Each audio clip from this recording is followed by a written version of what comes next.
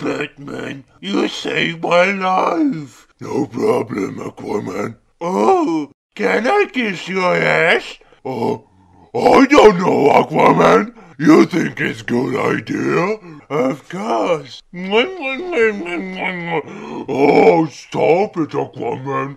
Oh, oh, it's still wrecking.